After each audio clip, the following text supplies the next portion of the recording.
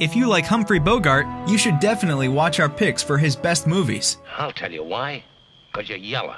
You haven't got nerve enough to pull the trigger while I'm looking you straight in the eye. Number 10. You know, when you just walked in here, I was sure you'd been sent by the family to deal with me. To deal with you? Sabrina is a romantic comedy drama film directed by Billy Wilder. In this romantic fight against the dullness of business life, we see a young beauty fall for a wealthy playboy. As they both figure out that they have found true love, their romance is threatened by serious older brother Linus, who wants the young man to find a woman that can help their business succeed. What are you trying to say? Well, I'm just trying to make it worthwhile. What's a krona these days? No self-respecting prime minister would offer kronen. No self-respecting waitress would take dollars. Good girl. Number 9. Key Largo, directed by John Huston.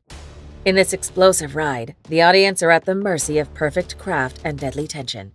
Portraying a classic noir story, we follow a traumatized war vet, Frank McCloud. Intending to comfort the loved ones left behind by a friend who died in the war, he becomes tangled in their troubles when an infamous crime boss takes over their business. Now it's one man against an army.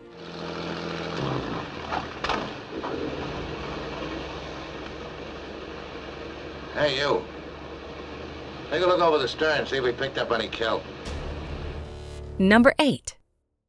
You're good. You're awful good. I'd walk home if it wasn't for all that water. To Have and Have Not is a romance war adventure film directed by Howard Hawks.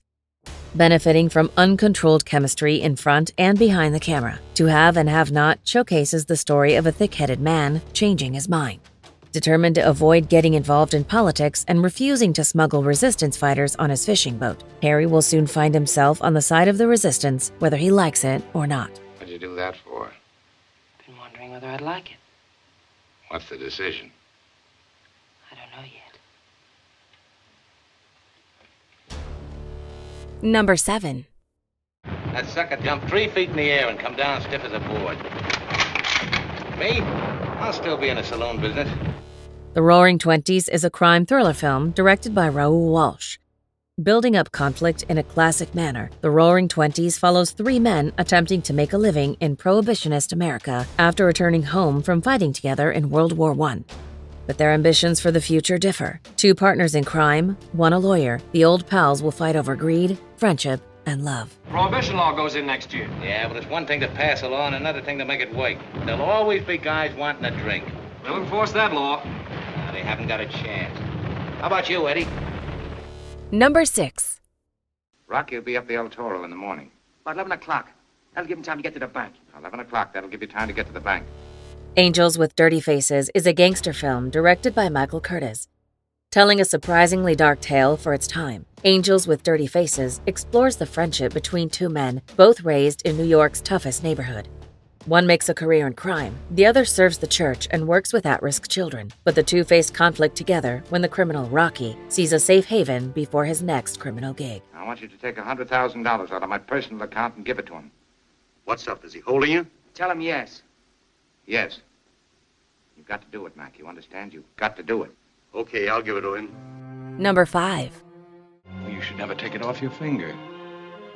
Put it on. Not now. In a Lonely Place is a film noir directed by Nicholas Ray.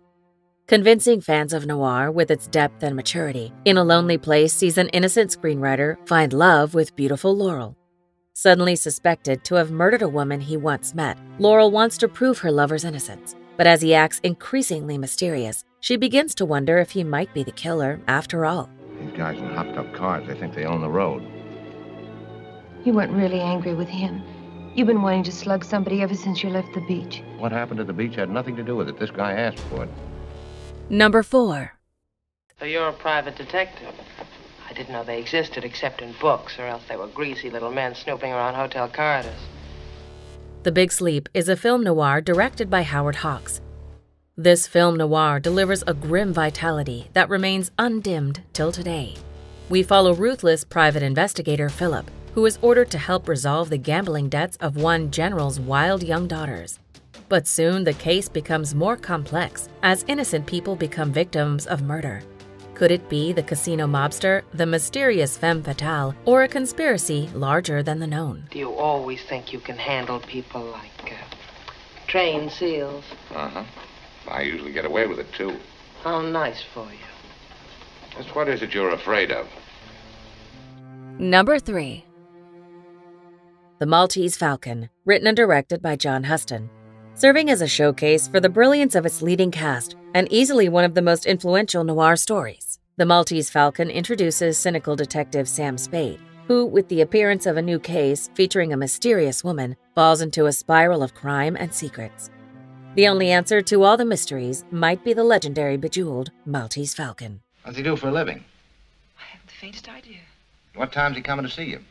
After 8 o'clock. All right, Miss Wonderly. We'll have a man there. I'll look after it myself.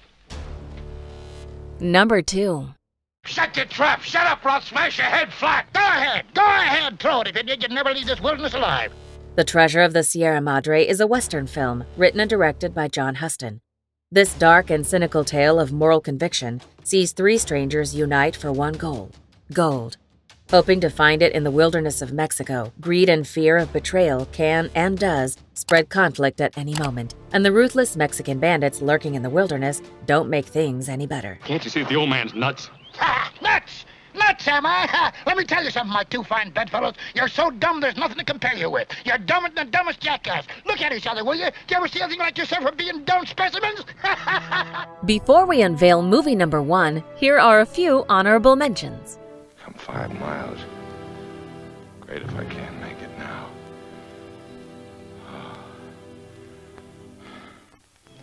Got to keep climbing.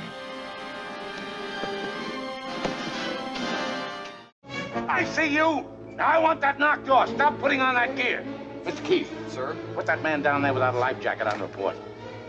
Which one, sir? That one down there on number one machine gun. Ah, no, no. Ain't no use, Rosie.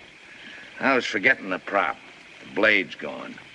Can't we go on the blades that are left? No, the prop would be out of balance. The shaft would be all twisted up like a corkscrew again. Number 1. You are our last hope. If you don't help us, Victor Laszlo will die in Casablanca. What of it? I'm going to die in Casablanca. It's a good spot for it. Casablanca is a romantic drama film directed by Michael Curtiz. Popularly described as Hollywood's quintessential statement about love and romance, and without doubt one of its most important influences, Casablanca is a nostalgic yet lonesome memory of lost love. When a nightclub owner finds his old flame is in Casablanca during World War II, he sets off to help her escape the country, while her husband is framed as a dangerous rebel. Do you agree with our list? Please let us know in the comments. If you want to know more about a particular movie in this list, you can check out our links in the video description. And for more top 10 movie videos, be sure to subscribe to Community TV.